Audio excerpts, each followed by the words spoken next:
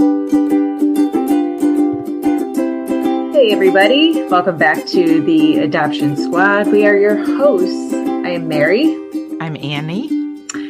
And together, are we going to do this? Sure. Okay. We are, we are the Adoption, the adoption Squad. squad. Oh, that was kind of precious. Okay. Yeah. oh, good times.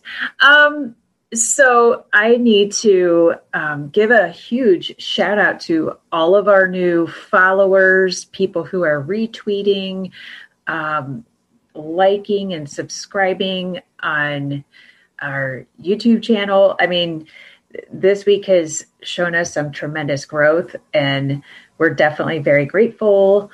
We are anonymous to our family and friends. So we don't have that little fan base to grow from. So it's really just coming from the atmosphere, the social media world. And um, we just want to say thank you for tuning in and giving us a shot here. Um, anything you want to add to that, Annie? Oh, sure. I think that it's uh, the adoption squad. We named it that so that we we we would have each other to share stories with and learn from. And when I won't get into the whole search, but when I was first starting to search back in the day, back in the dial up day of AOL, there was an AOL adoption group where people were just online typing out their stories, asking each other's questions. So we shared in that environment. So this is just bringing it into a different media, social media source, um, being able to share stories, I guess. Exactly. And um, to those of you that have been, um, you know, listening or writing letters to us, we've gotten a couple. Um, thank you. And we're definitely putting a plan together um, to help make your voices heard as well. So, um, thanks again. Um, I think we're just gonna get right into this week's and last week's topic. last week, um, I went ahead and answered the question why I decided to go about an adoption search in the first place. And um, so if you missed that, that's in episode three. So this week it is Annie's turn to answer the question why she decided to conduct her adoption search. So go ahead, Annie, tell us what you have. Okay, why did I search? Well, why not? Um, there were more reasons to search than not. Um, my background I grew up in a household that felt very chaotic. I felt pretty alone, isolated um, for many different reasons, which I, I won't go into. Uh, but one of the reasons that I decided I wanted to search was to find some connection with someone who was genetically and hopefully kind of psychically, spiritually connected um, to me and I to them, because uh, I really didn't have anyone I felt connected to. You know, I just felt very isolated. Um, then the other reason would be health. I would definitely want, I wanted to know my health history uh, because I supposedly had a seizure when I was an infant. Um, so that was in my mind. But as it turns out, that was just like a febrile seizure. Um, really wasn't anything genetic, but it did put the seed in my mind that maybe I should know. Um, and then part of it is I wanted to replace the fantasies with reality. I think I told you about like this grandfather or this made up grandfather that I would tell people about that I remembered before I was adopted and and we would hang out and he was just like a great farmer dude. So uh, I also fantasized I I was convinced that uh, I was part Israeli. Um, so for one of my high school writing projects, I wrote about the history of Israel. And I am not Israeli at all, but I learned a lot from my fantasy of thinking that I might be. Awesome. Um, I, I have no idea how I picked that out. I huh. really don't. It, that is just completely random. I think maybe it was going to church and being kind of fascinated with the Old Testament. Um, seriously just how much gravitas there was in that. I'm like, ooh, this is heavy. Wow. I think I, I think I want to be related to these people. Wow. so, uh, so, um, and then there were also my my adopted mother had her own fantasies about where I came from, oh, her own made up stories. And this is something I have not thought about in forever. Um, I was told my whole life, well, I think you're a change of life baby.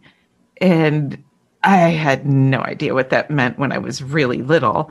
And, you know, she didn't explain it to me. And then when I got older, she said, you know, menopause, uh, women who get pregnant at that time, maybe they're not, you know, they just can't handle a baby in their 40s and 50s.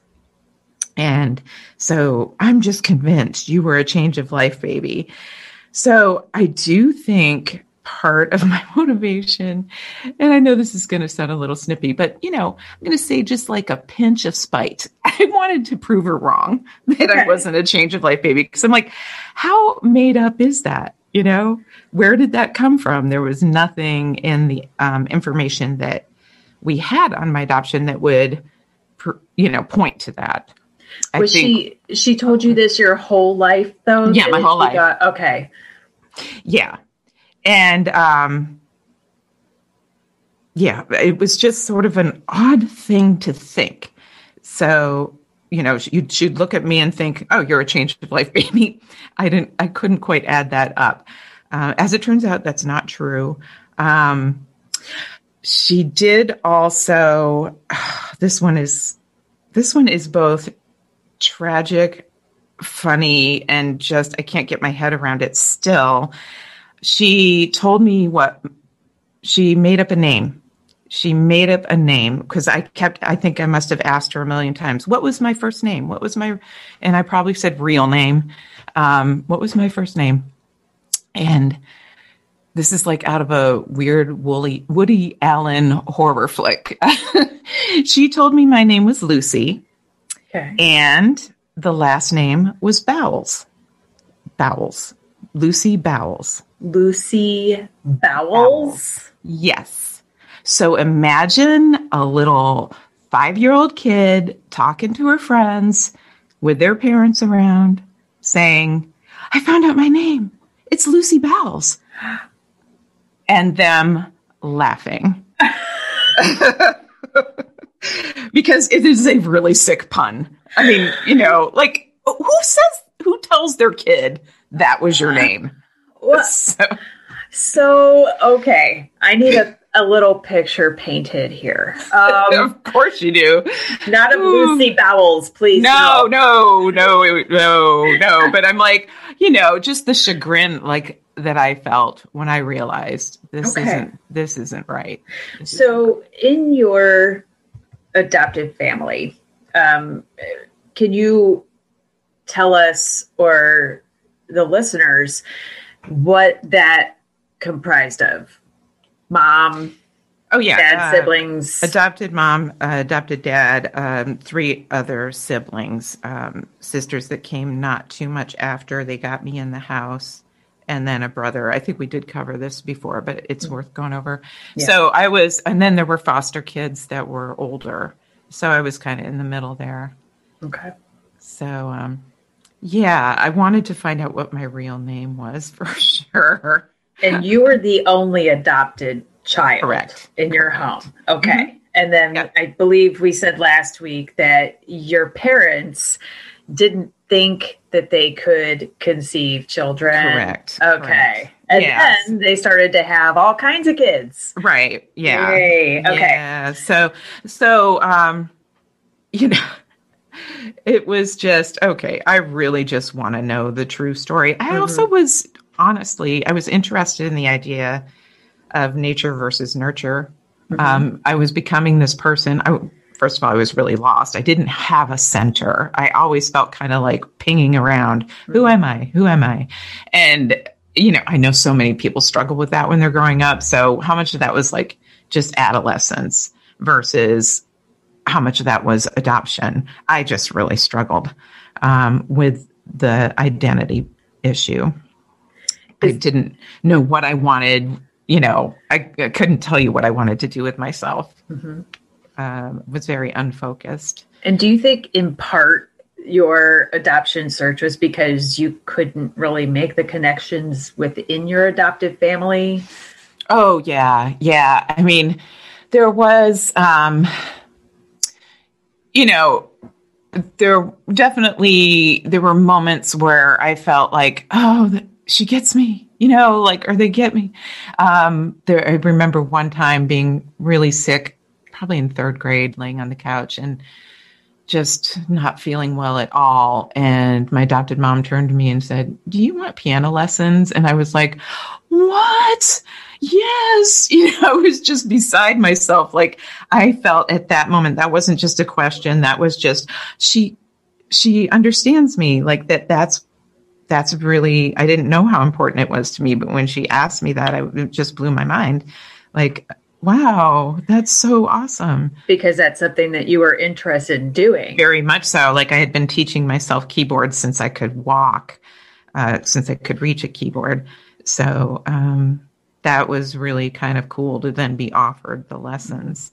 So, and then, um, so that was a moment of connection. But those were like I can pretty much point them out. You know, they're a handful of stories where it's like, oh, okay, we're really connecting here. But a lot of it was just daily chaos. And, you know, I know people were doing their best. I can, all I can say is I was lost. I was lost. Were your other siblings feeling the same way, or do you think it was just you?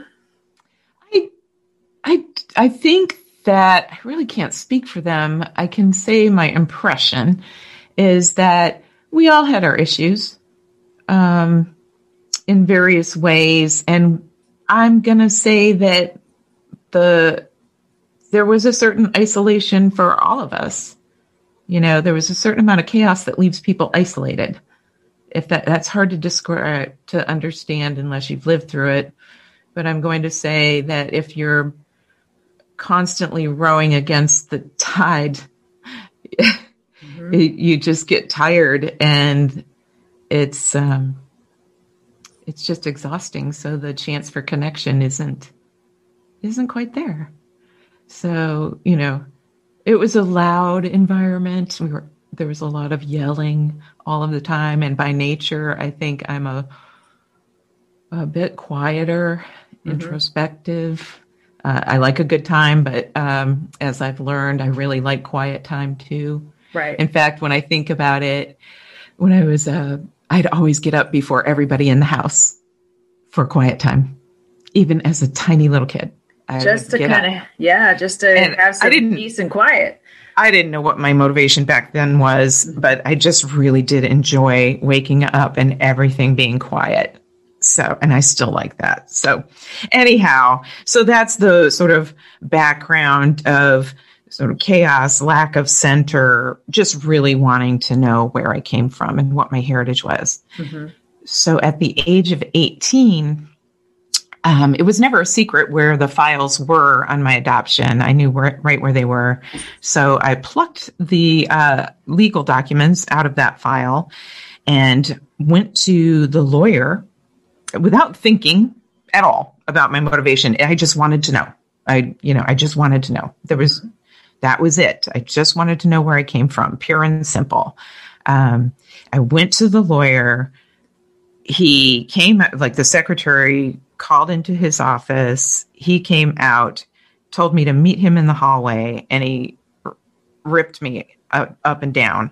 He said I had no right to find out that it was a closed adoption, that my parents who adopted me were my parents, and just go back home. Ugh, and gross. don't come don't come here again.